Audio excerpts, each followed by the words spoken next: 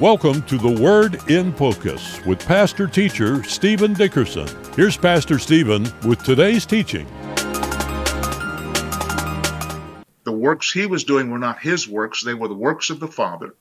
He told the disciples that he that has seen me has seen the Father.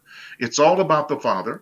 It's always been about the Father. And here he's telling them, when I go away, the Father will send another comforter in my name. He will be with you and be in you. He's asking the Father to give them another comforter. He's talking about the Holy Spirit. But the context of what he's telling his disciples for three, three and a half years of his earthly ministry, they went everywhere with him.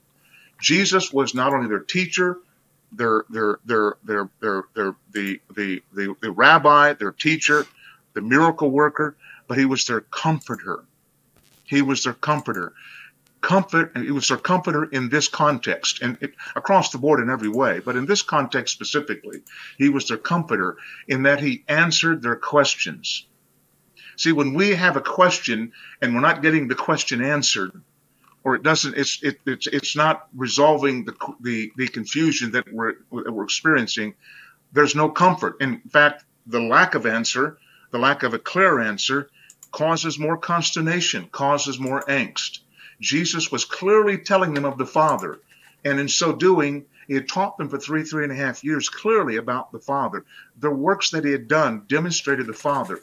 This had brought comfort to them remember the context of their life was they were they were coming out of the Mosaic law, the the the which was a wonderful thing in its time, but it did not bring life.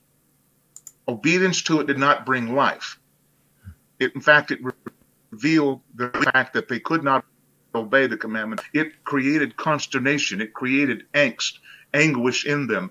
The teachings of Jesus concerning life and that he was the bread of life brought comfort to them the questions or confusions. They could not, they were not able to keep the commandments of Moses. We saw Peter in his anger, uh, the disciples wanting to call fire down from on the heads of those who did not believe or, or walk in the same way that they were walking with Jesus. They wanted to call fire down on, on the heads of those people. They had anger in them. They had confusion and fear of God, not the not the awe, the awesomeness of God, but actual being afraid of God. Jesus brought comfort in his relationship with them, and he revealed the Father. Here he's telling them that the Father will send you another comforter, another comforter.